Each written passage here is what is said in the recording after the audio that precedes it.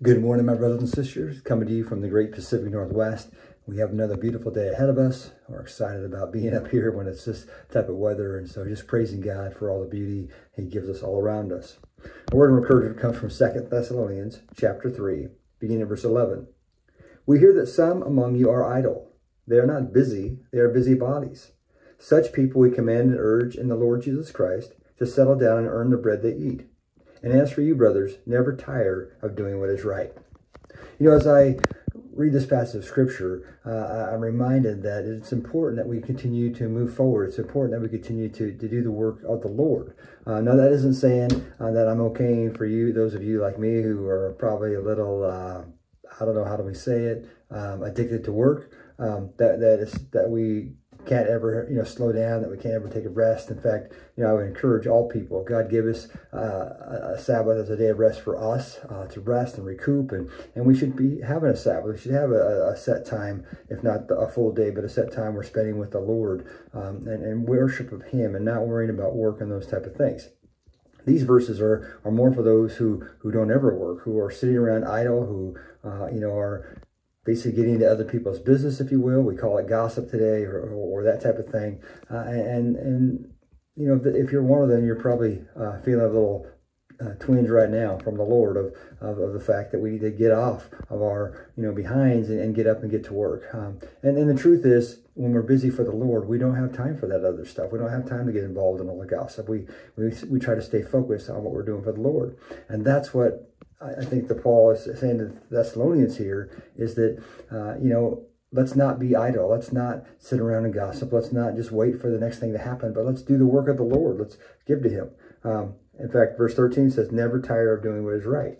Now, again, at times we do get tired. At times we're maybe, you know, need to take a breath or a breather or a vacation or whatever. But when we're not doing that, then let's keep working. Um, our labor for the Lord is not in vain, it says in 1 Corinthians 15. And I, and I think that's true here is we, we want to be firm. We want to stand up. We want to do God's work uh, because it's not in vain. And we only have so much time. I don't know about you, but you know, life just seems to be passing us by.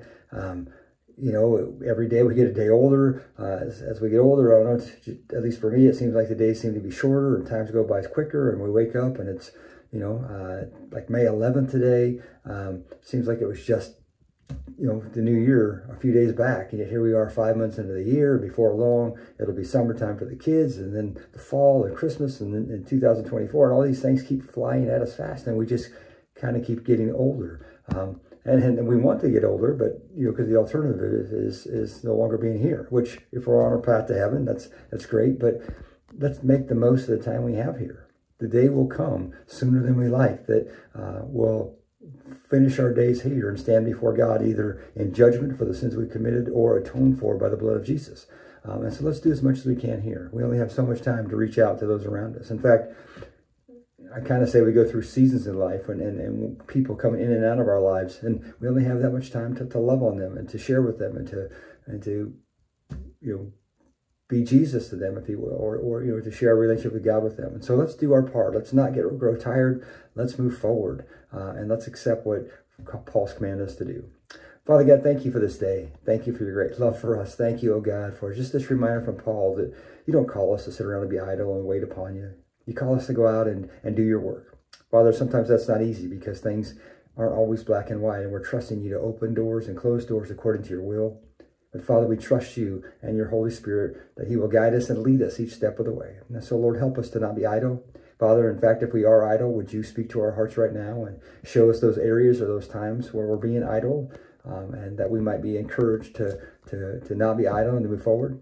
Father, if we're on the other end of the spectrum and we're working too much, if we're working, uh, if we're addicted to work, if you will, um, Father, we pray that you would show us that as well, that we might find proper rest in you. Uh, Father, we we know that it all starts with you. We know that Jesus, Father, stopped to take time to pray and to, to be revitalized by you. And so, Lord, help us to find our place in the midst of that spectrum. Help us, Lord, to be fully at one with you and, and in tune with you and yet out doing your business. And Lord, we trust that you will bless that in our lives and bless that in the lives of those around us.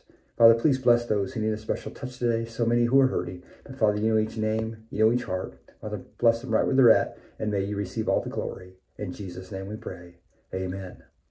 Well, there you have it. God loves you. Hey, we love you as well. I want you to have a good day in the Lord and hope to see you again tomorrow. God bless.